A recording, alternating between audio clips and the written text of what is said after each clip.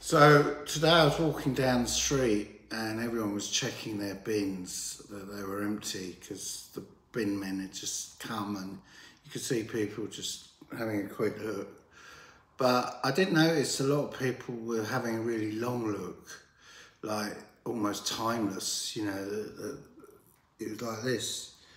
And I thought that was a bit odd. I mean, everyone does their own thing, obviously, in London, and the length of time you take to check the bin. But there was one guy who, like, his head was stuck in the bin, and I was walking past, and it, it didn't move. He was just like, I don't know whether he saw a dead pigeon in the bottom, um, and he was trying to work out who put it in there. And the bin men hadn't taken it, or maybe he put it in the bin and the bin men didn't want to take it.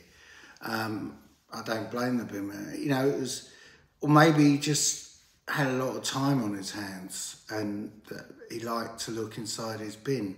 I mean, he was stuck there.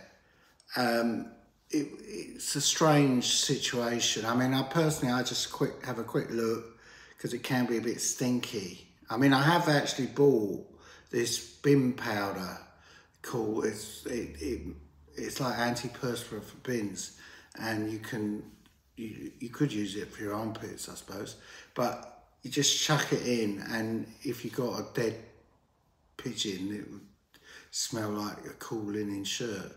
But I, I, I am struck because as I was walking out the road, the amount of people were really looking for a long time inside their bin, and then you wonder what they do when they go inside their house. I mean, I don't really want to go there, but I mean, the strangeness of looking inside your bin and then going inside the house where no one's looking at you got me thinking.